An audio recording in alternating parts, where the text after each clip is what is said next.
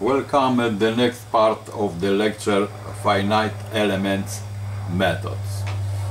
Today we consider finite element solution of the Poisson-Helmholtz equation minus uh, Laplacian of u plus sigma u equals f in the space of bilinear splines. Let us solve the following boundary value problem.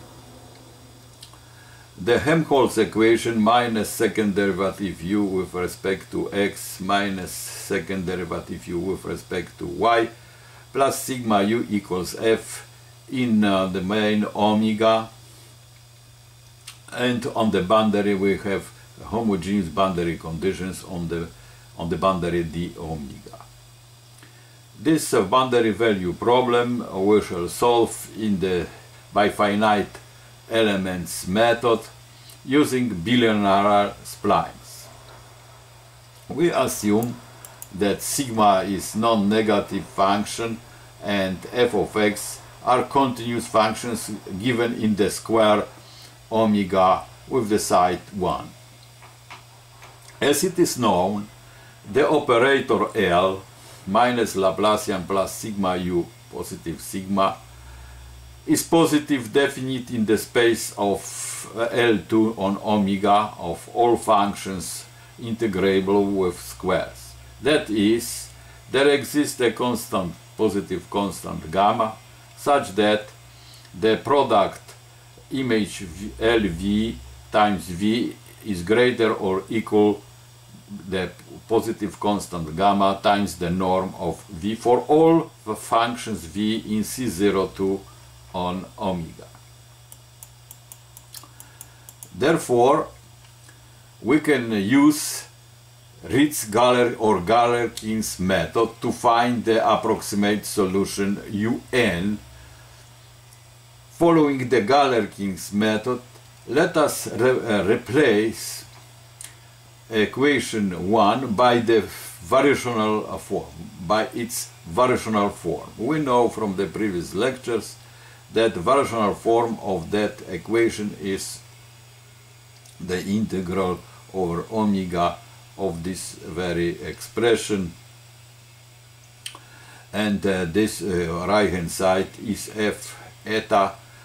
For all eta in W02 uh, space in the Sobolev uh, space W012 on omega this is the energetic space generated by the positive de uh, definite operator L then we find the approximate solution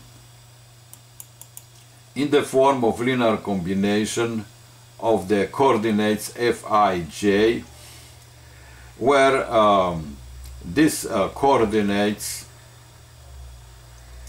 uh, these coordinates are uh, given here. There is a product of psi i of x times psi j of x where psi i psi j are Ritz coordinates in the space S1 delta x0 and in the space S1 delta y0 of linear splines respectively.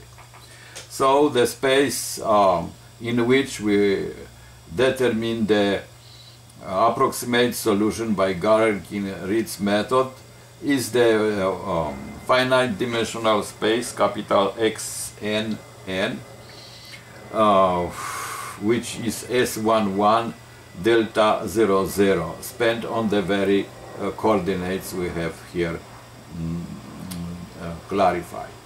Good.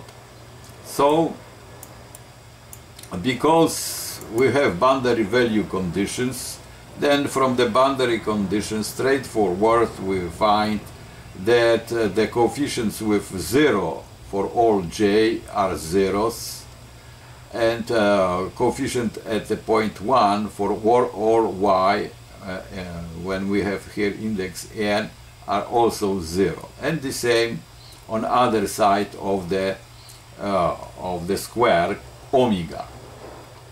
So that is forward uh, substitution um, to to the um, linear combination to this form uh, the uh, value for x equals 0, x equals 1, or for y equals 0 or y equals 1 to get that um, form. So the form of the approximate solution is, uh, is of this size. We, we start from 1, not from 0 as before, and we end at n minus 1, uh, not at n as before, because of the co coefficients a 0, j r 0 a n j r 0 and the same a i 0 and a i n are also 0.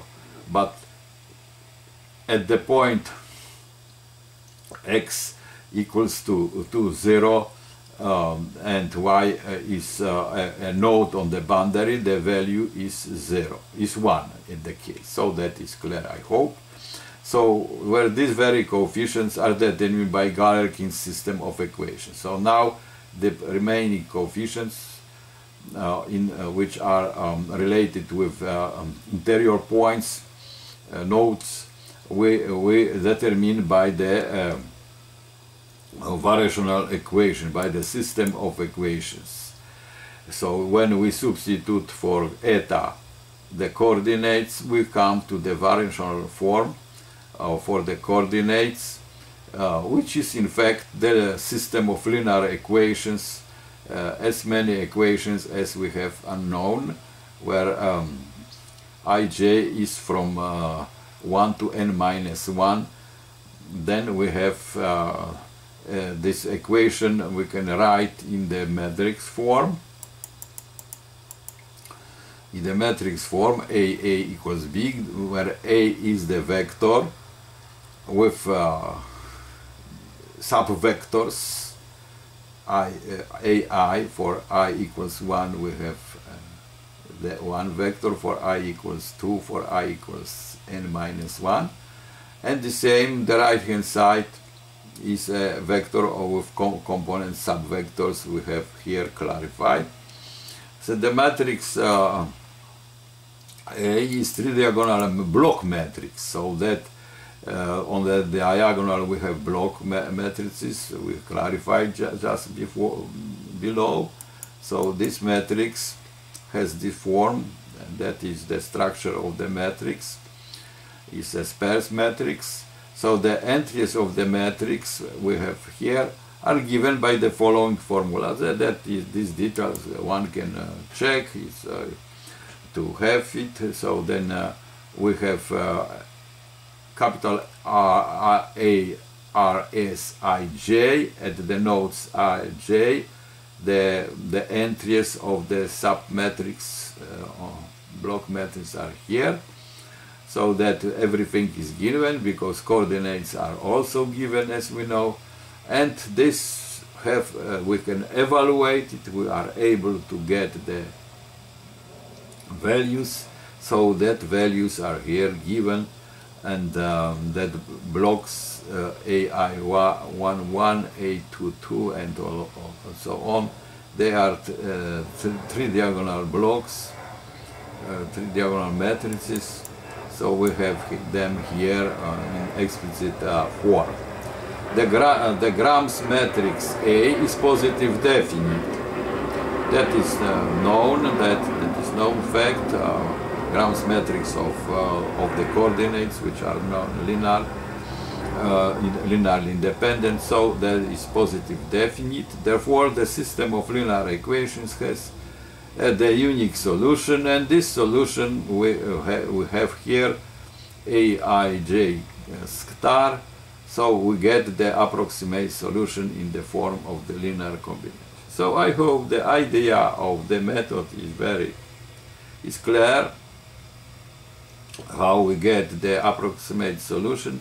We have to solve the system of linear equations with a block matrix A that uh, that uh, system we can solve by a method, by Gauss-Seidel method, or by any iterative methods, or a straightforward um, uh, method based on Gauss elimination.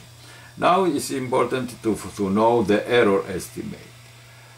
So by the theorem on the error bands of Ritz and Galerkin's methods, we remember the global error as a difference between exact solution and approximate solution satisfies the inequality. That we know, we, we use that inequality and a number of times. So that error is less or equal than uh, every uh, eta from the uh, energetic space, uh, Sobolev space W01. So this error is less than uh, error uh, between every real function minus exact solution. Of course, it is in the in the um, energetic norm in the L norm. then this L norm, we remind, is that which, uh, in which we have involved the first derivatives of the exact solution as well as the values of the function. So, in the case, to get the error bound, let S be the linear spline interpolating to the exact solution. So we substitute in the uh, variational equation now the interpolating spline to the exact solution. So if we substitute for this eta s, then we have we have s minus u in the energetic norm L, but this error of interpolation, as we know from the from the part of the lecture uh, when we have considered the we had uh, we considered the um, error of interpolation by bilinear splines is is in the L norm is a constant S C times H times the norm of the Laplacian uh, in the L2 square in fact. So using uh, using 7 that that inequality uh, with eta equals s as we have said we obtain the following error estimate this error estimate, this is less or equal than this, so we can have error estimate by that form, that value. Good. So again to say that the norm is the uh, here, this norm is here for uh, fixed exact solution u. So that is on the level h, h, not h squared but because of the norm that uh, we estimate the error together with its first derivative because of the L norm. But applying the Nitsche analysis as we did before for one variable, we get the following estimate of the global error uh, and in the, uh, in the norm of the L2 space.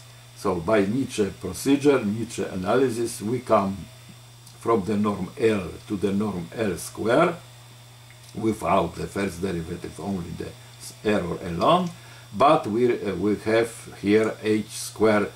Uh, so that error of the method we have used, finite elements method, is on the level O capital O of h square. It tends to zero as fast as h squared tends to 0, where c is a genetic constant independent on, on h. Thank you.